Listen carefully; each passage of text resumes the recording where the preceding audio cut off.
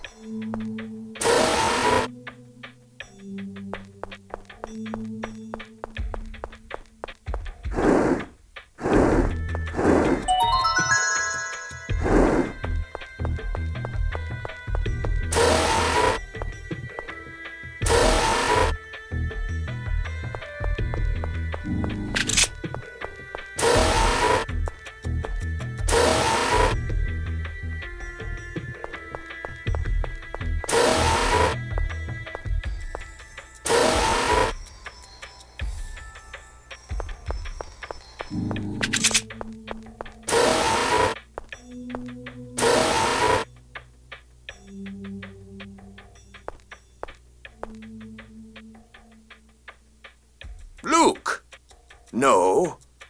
Ash. So the traitor to Kimlasca still lives here in this city. What a joke. What do you mean, traitor? This guy was involved in my kidnapping. Don't tell me you're the one who broke the ban on Fomicry. It's just as you imagine, Jade. Jade! The necromancer! Applying Fomicry to living creatures is forbidden. Every Fomicry researcher longs to try it at least once. You're no different, Jade Curtiss. Or should I say, Dr. Jade Balfour? You're the father of Fomicry. You made dozens of replicas. I won't deny it. I am the one who proposed the principles of Fomicry. Then you have no right to criticize me. I'm sorry, but I'm afraid I'm not interested in mutual wound licking. I have no intention of covering for someone just because they've committed the same sin as I. I'm well aware of what I've done. That's why I forbade it. The replication of living organisms presented both technical and ethical problems. You, a Fomicry researcher, should know well the fate of the first replicas of living creatures. I. I only. All I did was help with Van's preservation project.